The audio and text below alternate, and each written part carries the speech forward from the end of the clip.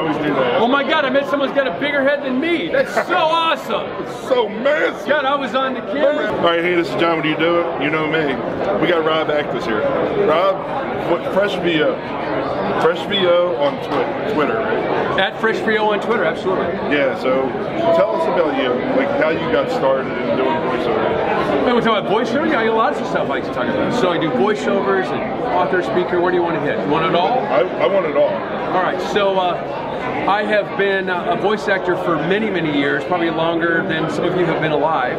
Um, you may have recognized me as the voice of Walmart or a commercial from Subway or uh, TCF Bank or Bayer Aspirin or AAA or a lot of those things. I'm also an audiobook narrator. I have 33 books on Audible. 33. 33 books, and I'm proud to say that I am the narrator for Hal Elrod's The Miracle Morning audiobook series. I listened to it. I'm like, I know Rob, and I'm like, That's this me. is so awesome. That's me. And we've sold over 300,000 copies of that book. So it's really powerful. So what I love about that, and that gets me all juiced up, is the fact that I get to take my voice and I get to bring Hal Elrod's words to life. Yep. And so what's really cool about that is that a lot of people don't read, they don't have time. And so they so there's 300,000 people that may have never bought the book. And Hal's words are so impactful and so transformational that I'm the catalyst for their change and transformation of their life. That's right. And that's that's like I love doing commercials. I love, I love, I love doing that. I another claim to fame is I have over 400,000 telephone prompts. So I'm the guy that says, press one, press two, para español prima número ocho. That's me. So yeah, so I'm on all of those all of those telephone prompts, and that's great. Um, I've done. I'm in a nuclear reactor, which is actually kind of scary. This is actually scary. This is like, oh, I got chills about this. Okay, so these are the messages that go off. You know, they have hospitals. Some avoid. A long time ago, I did a voice for hospitals like, attention, please, attention, please. A fire has been located on the third floor. Please do not use the elevator. Use the stairway instead. Okay, so here's what I did. I did it for a nuclear uh, facility. So this is crazy. So I did these beginning uh, announcements like, you know, there's been a class one, da da da da da da da. And I'm getting deeper and deeper and deeper into these messages. And I guess OSHA law says you have to have these messages. And I started asking towards the end of the year of, of the messages, and I'm like, so what exactly does this mean if they hear this message? They're gonna die very soon. Right, right. Chernobyl. Yeah, like it's the end of like like the nuclear fusion is happening. It's like it's like. So I'm the last voice. I go, so should I be warm and fuzzy? Should I change? Should I? He goes, no. He goes, we actually don't want them to know that it's the last one. There's multiple messages, so they kind of still think they have an opportunity. And then there's another message, and it's like, yeah, it's it's the implosion is imminent, and it's like that. It's like, wow. So yeah, so that's one that not as life changing, but I don't know. It's just kind of that. So I've done a lot of things in, in the voiceover realm, and yeah, you can catch me on Twitter at uh, at FreshVO, and uh, I share what I share. And So I met Rob last year. I volunteered. I was standing right next to him for uh, quite a while at the session. But we're at VidSummit, so you can see the sign here, VidSummit. absolutely. I want to say hashtag power of VidSummit. This is a hashtag that I don't think anybody started. So I'm tweeting this out a lot. I tweet that today. I really think. I really think that there's a lot of power in VidSummit because we're coming together. Two different angles, right? Yeah. He's voiceover, I'm DIY. We really shouldn't meet, but VidSummit brought us together. And since we met before, we know each other. I'm able to ask him questions. He's on my channel right now. This is the power of Summit. There you go. Well, you know, so one of the things that you do do it yourself, and, and a lot of people have fear based on that. So not only am I a voice actor, but I wrote a book called The Law of Action. And the law of action is about breaking through your fears and living a life of inspired action. And fears tend to stop you. So in my case, it's really good that I'm fearful to not do do-it-yourself projects. Because people can get hurt, namely me, and possibly even die. And you know, my message is to live every day like you want to be alive. Like really. So I guess what I want to share with you is that the projects that you say you're going to do someday, someday, someday, someday, build the deck, and like what kind of different things? Like, what's the popular thing coming out right now that everyone wants to do, but they're not doing? People want to do LED stuff, things with LED Okay, and epoxy. So that's my thing. I'm like Mr. Epoxy. I'm like, it's like hypnotic. I just want to. So, funny story. I told my friend I want to build uh, a river table. Yeah, So here's how lack of that's DI. trademark, by the way. River Oh, is it? Table Okay. Oh, you can say it. I'm gonna No, get sued. I'm gonna get sued. Okay, good. Let me check my legal team. Okay. So this is how much I don't understand about do-it-yourself. So my buddy is really handy. He builds houses and he's really creative and stuff. And I started ordering epoxy and stuff like this. And I went and got a river tape. I went and got a, a piece of wood that I ordered. Yeah, it was like nine hundred dollars, and I went and got it. I'm like, this is cool because I guess the tables are like six or seven thousand dollars. Yeah, that's right. Okay, so I got my, my dear friend Sean Smith, man, my, my business partner and just dear friend, and so this is to tell you how much I don't know about do-yourself stuff. I saw a video, eight minutes on how to do this table. I thought it was an eight-minute project. So I got started ordering this stuff, and I'm like, "Hey, what do you? What do you want to do today?" I go, "Let's build this table." So I have the epoxy coming. I go, "Let's do it Saturday," and he goes, "Do you have any idea how long it takes to make the table?" He goes, "There's planing in this," and I go, "Dude, the video was like eight minutes. it was like eight minutes." So that didn't work. And then also, then I saw a cement table, and apparently you guys do some time lapse stuff, and that took longer.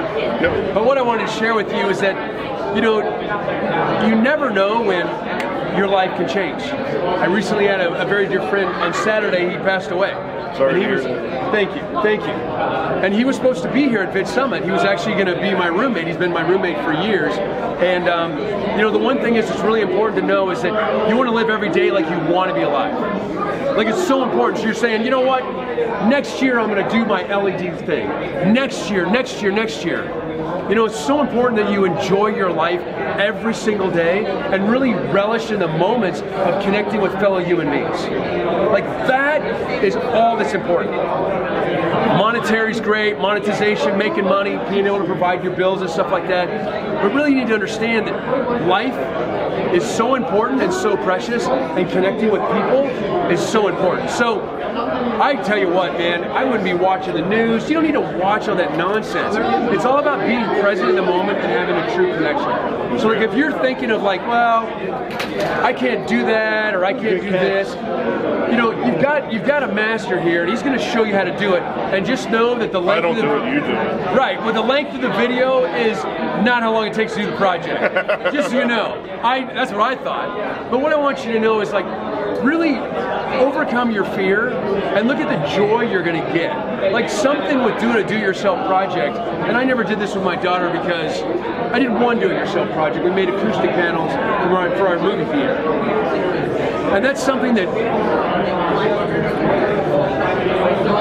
I get moved emotionally by that because my daughter had brain surgery and had four strokes and almost died. And um, in the hospital room, that's one of the things that I thought about was like, you know, that's something I did with my daughter. So your son, your daughter, your wife, your best friend, whatever, just do this stuff. That's the cool thing about do it yourself. Like I put together a Traeger grill the other day, and uh, took me like two hours. Uh, my buddy Sean watched me do it, and it was hilarious. But just doing the, the, the wrenching and the stuff, and it was very basic stuff. Like all I did was I flipped it over and put some legs on it and inputted some screws. But just the camaraderie that him and I had doing that right, yeah. was like super cool. So then I'm like, well, that was fun. So then I got this new patio set, and then it had to be put together. That took like four hours.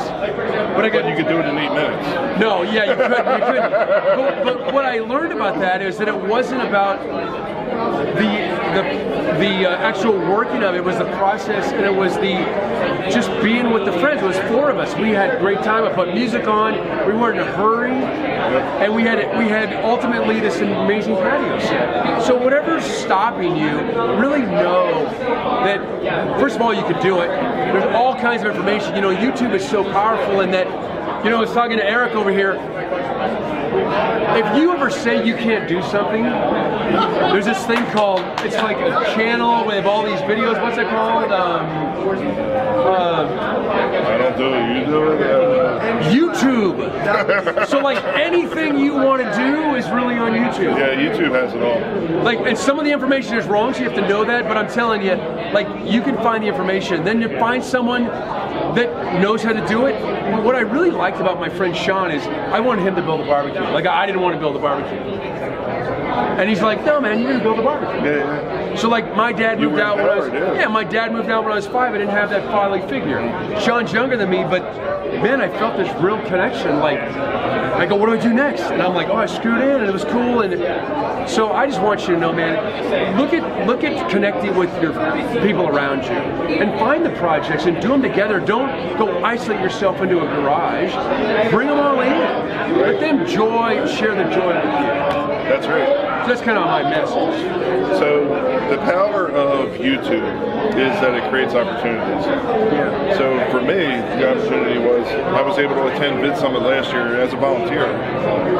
This year I paid for my ticket. So I'm here now talking about it. We're talking about making stuff. It's just incredible. Who would know? But we take a minute. That's another thing I say. I say take a minute to know someone.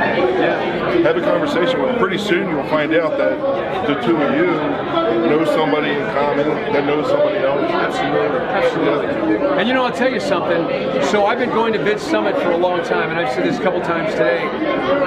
And I've been surrounded by the best of the best. And so if you're out there thinking of starting a YouTube channel, you're thinking, oh my God, seven years in the making, I officially started my YouTube channel That's right.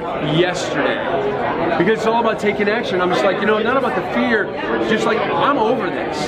Because I'm, I have a message to share, and you have a message to share, and I was being selfish. And I'll flat out say I was being selfish. I didn't share that message. And so I'm committed to sharing and adding tremendous value on that channel. And whether I have, well, I have 25 subscribers now, which is kind of cool. So That's in right. 24 hours, I'm number 23. that's right. So I don't care if I get 50 subscribers. The only thing I care about is adding value. And the, the, the subscriber count is going to be based on the value that I'm adding. If I ever get to 100,000, that means that I added tremendous value. That's right. And if I don't, then you know what? That's on me. But I'm Okay. committed to adding tremendous value, and I don't get hung up. I mean, I can tell you, every single subscriber, I've been checking and refreshing. 25 subscribers feels like I have 100,000. That's right. Like to know that 25 people have taken time out of their day and actually gone there and press the subscribe button and trust me to provide them value is very heartwarming and humbling.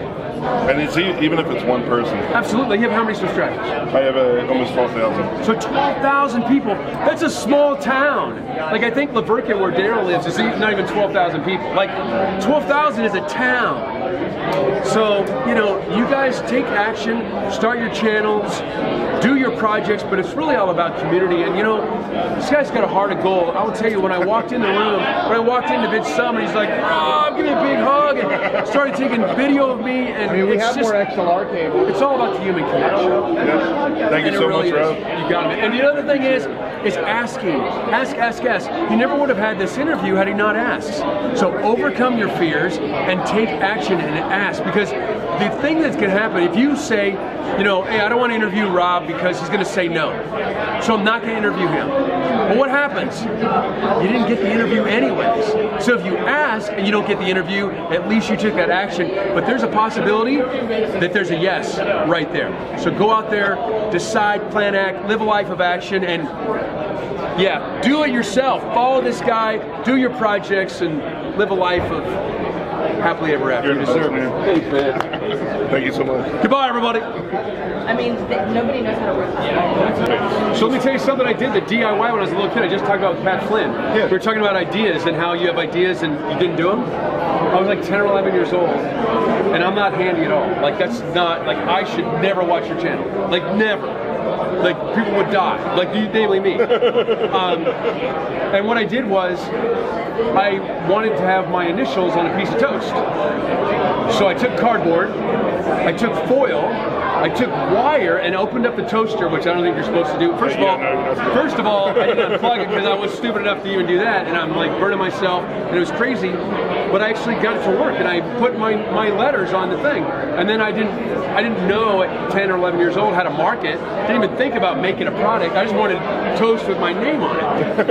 and then a couple years later, I saw it in this. Maybe like maybe 10 years later, I saw it in the store, and I just saw it again, like in uh, on uh, on the internet. They have Darth Vader toasters now. Yeah, yeah, yeah. So the guy invented that. It's just so funny. Isn't that so crazy? it's just it's like crazy. Okay. There's a lot of stuff we do as kids, and we're like, and years later, we're like, what? You're like, I did that. I did that. It was stupid. But I mean, let's see. Paper, foil, wire, electricity, someone who doesn't know anything about any of that stuff, and burning the house. down. So that's me.